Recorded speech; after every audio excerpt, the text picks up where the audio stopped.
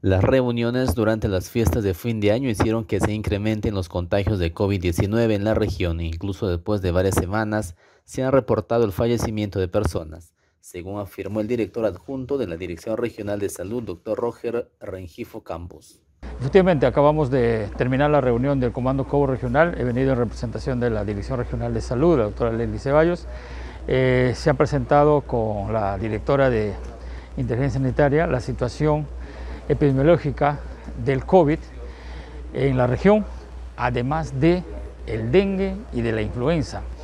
Eh, es importantísimo para nosotros también no, no, dejar de lado estos dos temas que afectan a la población.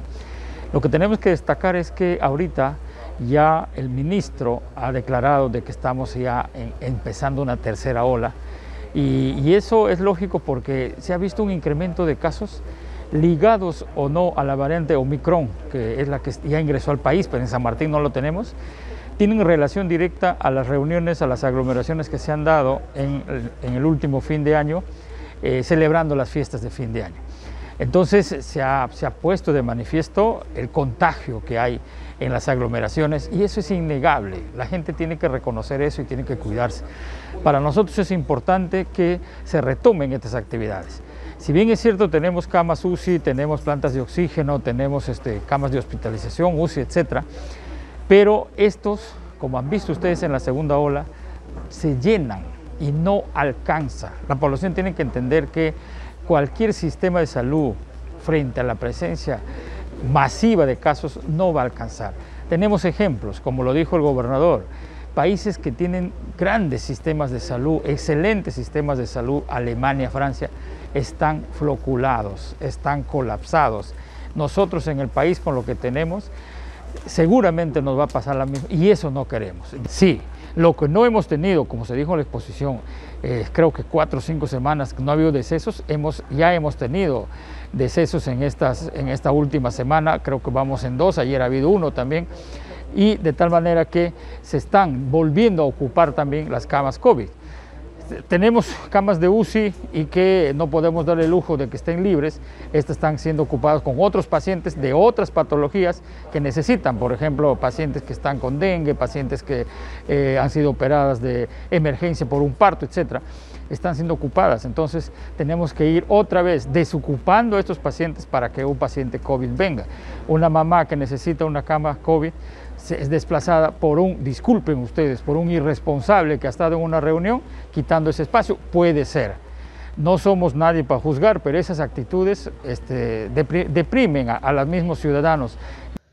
Indicó que las personas hospitalizadas en su mayoría son aquellas que no se vacunaron o solo tienen una dosis.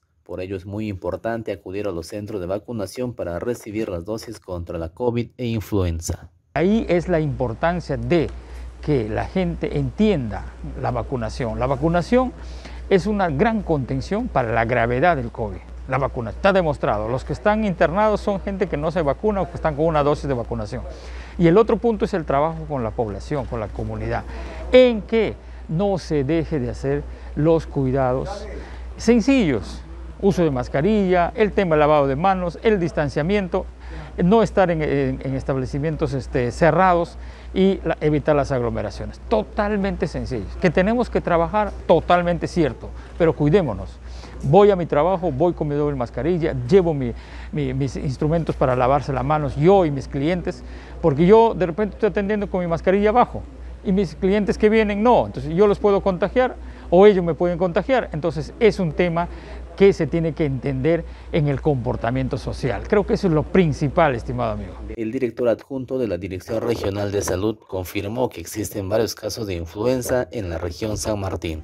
Sí, también tenemos casos de influenza eh, en, el, en el contexto de la región. Eh, siempre eh, tenemos la vacunación anual de la influenza que se está haciendo, que, que, se hace la propaganda y muchos a veces no nos enteramos, pero es una vacunación anual, una vacunación de refuerzo, eso lo pueden encontrar ahorita en cualquier establecimiento para evitar este contagio, pero sí tenemos casos de influenza. No son graves, pero dependerá de la contextura de en ese momento de la persona que se contagie de influenza para hacer un cuadro grave o no. Tenemos ya en el país el famoso flu corona, que es, que es una, una condición de una persona que tiene dos coinfecciones, COVID e influenza y que pueden potenciarse y pueden llevar a la muerte. No tenemos un muerto ya por eso, hay hasta cuatro casos ya en, el, país y, lamentablemente el deceso ha estado en Bagua y Bagua está cerquita a nosotros, entonces hay que tener mucho más cuidado, hay que vacunarse y hay que tomar estos cuidados. Para influenza los mismos cuidados de COVID. Estas declaraciones las dio tras participar en la reunión del Comando COVID regional realizada la mañana de este viernes en el auditorio de la Dirección Regional de Agricultura.